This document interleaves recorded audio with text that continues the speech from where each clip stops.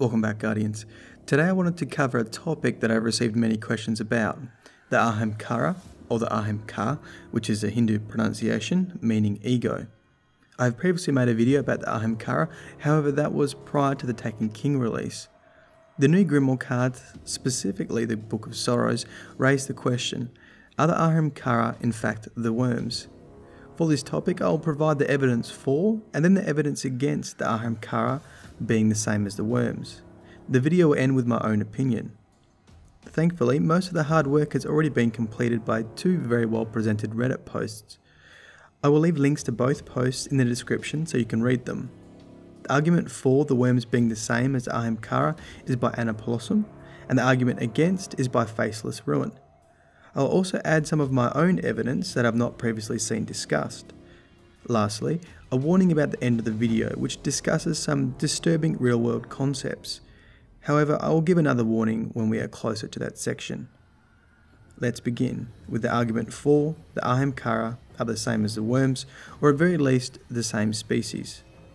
The first piece of evidence that most people stumble upon is the Book of Sorrows, verse 1.5, the needle and the worm. Sathona, Oryx's sister, gains possession of a white worm. This belonged to her father, the Osmium king. The white worm is dead, however, it speaks to her and says, Listen closely, O vengeance mine. The dead worm would later guide the three sisters to discover the ship Needle and consequently lead the sisters to discover their worm gods on the fundament. The dialogue in this verse, O vengeance mine, is the same style of writing of all Ahamkara armour pieces. The young Ahamkara's spine reads, Give me your arm, O bearer mine. Let me help you feel the world with teeth. The claws of Ahamkara says, Look at all this life, O bearer mine. There is so much left to burn. The sealed Ahamkara grasps actually suggest that these are auditory hallucinations. It reads, Plating the Ahamkara bones in silver helps to quiet the auditory hallucinations, O bearer mine. The similarities between the dialogue continues in Book of Sorrows, verse 2.2, Out of the Deep. The verse describes the slaughter of many beings at a location known as Kahan Atoll, and from this, the worms are able to cut a wound in space and transport themselves from their planet. The verse ends with Reality is a fine flesh, O general owls, let us feast of it. Obviously, a direct relationship to the flavor text of the skull of Dire Ahamkara. Reality is the finest flesh, O bear in mind. And are you not hungry? Many believe that the similarities in dialogue between the worms and the Ahamkara indicate that they are of the same species. The dead white worm influenced the sisters and their actions, ultimately leading them to discover the worm gods, forming a symbiosis and beginning the never ending conquest. So you may argue that the Ahamkara pieces are trying to do the same. They speak to us and try to convince us to destroy and burn everything in our path. Whilst the dialogue is an important piece of evidence to support the theory that the Ahamkara are the same as the worms, the physical appearance of the worms can also be used as evidence. Verse 1.9, the bargain, says this I am Yul, the honest worm. Behold my passage. Behold my vast displacement, my ponderous strength, my great and coiling length, my folded jaws and curled wings. This dragon like description, combined with the previous dialogue, led many people to believe that the Ahamkara and the worms were one in the same. Reddit user Anapollosum argues that this further reinforces the translation of worm to the Old English spelling worm with a Y, which means dragon. However, completing my own search for this definition of the word worm, many definitions did specify that it means a dragon, However, the definitions also specified it was a dragon without wings or legs, and hence the word was also synonymous with serpent or snake. Now, Destiny does have references to serpents. This is something I discussed in my first Ahamkara video. Regardless, the description of the worms could be easily considered as dragon like. The third piece of evidence occurs in verse 5.3 I'd shut them all in cells. Xivu Arath, Oryx's sister, says this The dragons, our gods, should be ours alone. Their smug freedom is an insult to me. I'd shut them all in cells, bring them to me. Now, this can be interpreted multiple ways. To make this sentence support the Ahamkara being the worms, you have to read it in a certain way. The dragons, our gods, should be ours alone. Obviously, changing the punctuation changes the meaning completely. However, I can see how the sentence can be interpreted this way. It is saying that the dragons are their gods, aka the worms. Later in verse 5.4, the gift mast, it says a species known as the Harmony have aligned with the dragons, and the dragons have actually granted them wishes to allow them to fight off the hive. It says this Turn to dragon wishes and their wishful bishops wrestle Xivu in their ascendant plane. For most of you, you would assume this would be instantly disproving of the Ahamkara worm theory. If the worm gods are these dragons, then they, why would they empower another race, like the Harmony, to defeat the Hive? Well, it comes back to the overall goal of creating the final form of the universe. The worm gods slash dragons do not really care about the hive, they only care for the strongest species to continue, to continue to form the perfect universe.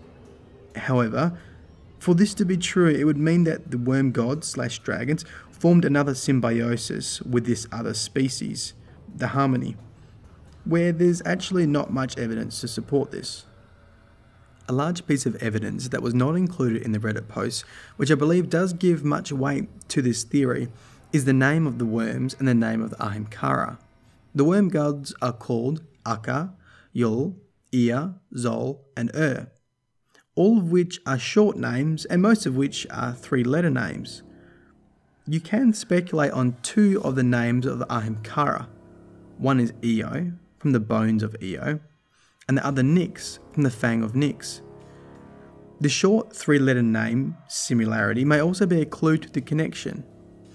I guess though, if you were to assume this, then you could apply the same assumption to Xur.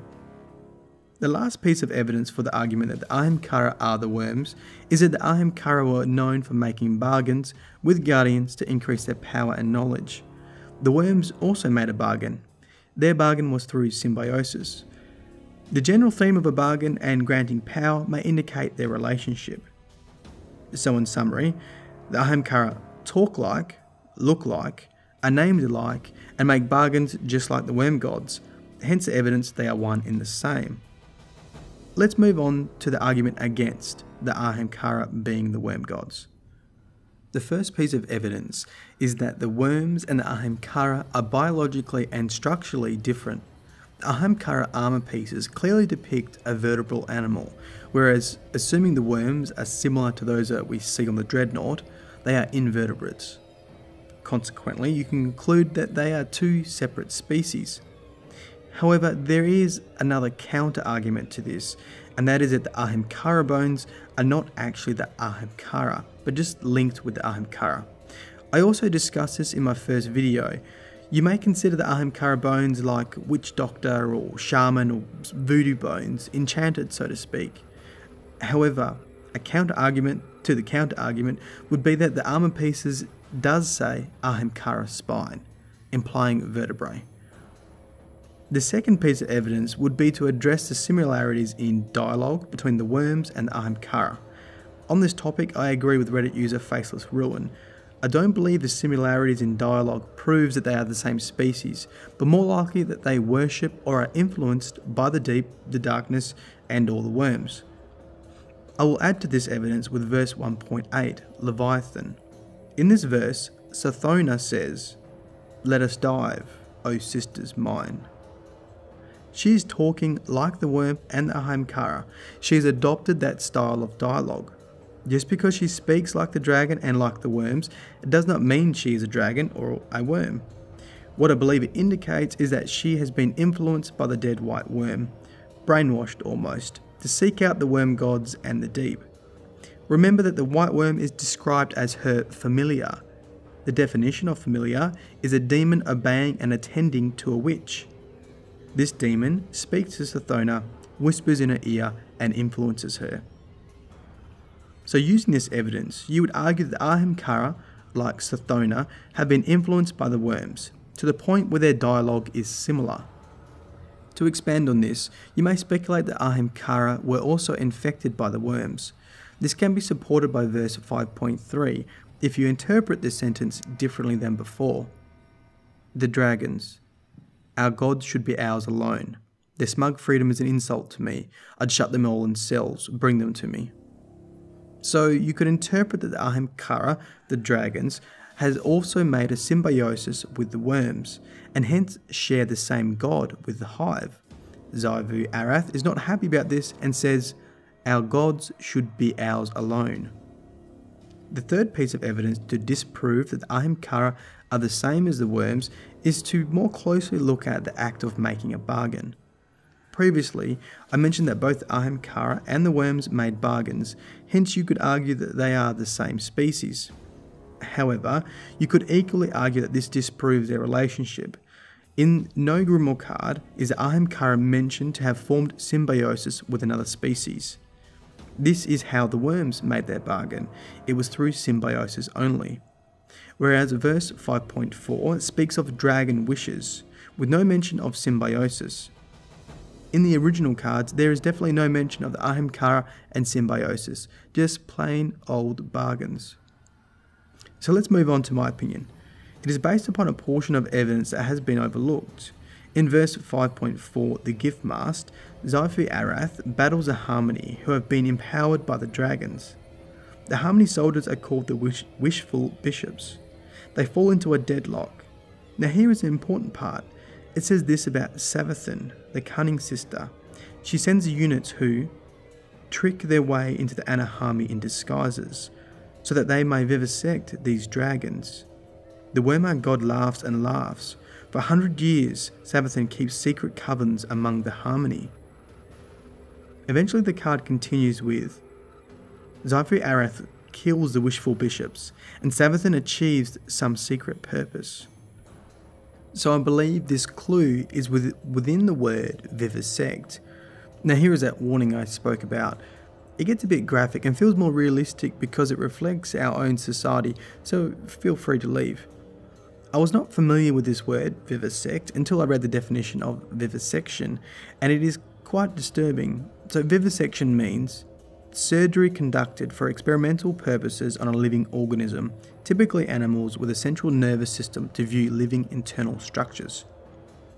Within our society, we have a number of acts, like the Animal Welfare Act, that protect animals from experimentation that causes pain. So, scientists cannot cut open a live animal to see how its insides work without first giving it tranquilizers, analgesics, or anesthetics, unless it is scientifically necessary to not give pain relief or tranquilize the animal. Now, here's where it gets worse. Also, please be aware I'm not an expert in this area, however, this is my understanding from what I've read. Human vivisection is something that has occurred in our own history, specifically during wars. Prisoners of war were experimented on, cut open, and obviously killed, and these experiments were conducted without anesthesia, so you are conscious and awake, and without analgesic, analgesics, pain relief. Right? This is a story of nightmares to be experimented on, tortured whilst being kept alive. You likely have previously heard of Nazi human experimentation and the human experimentation completed as an execution method by the Khmer Rouge. So, where am I going with all this? Well, I'm speculating that Savathun, the cunning, succeeded in her experimentation on the Amkara, on the dragons, Quote, Savathun achieves some secret purpose. I believe that the Ahamkara have been infected by the hive, which is a common theme throughout the Book of Sorrows. When the hive cannot beat a species, they say, We will infect their weaknesses. Alternatively, maybe the vivisection of the Ahamkara involved the forceful implantation of a worm. Regardless what Savathun achieved with her vivisection of the dragons, I believe it explains why the Ahamkara speak like the hive. This is why I believe the Ahamkara are not the worms. However, I'm keen for your opinion. If you believe the Ahamkara are the worms, then leave the word worms with a Y in the comments. If you agree with me, leave the word dragon in the comments. Once again, it's been a pleasure to speak with you all. This is Myelin Games, and I'll see you next time. Peace.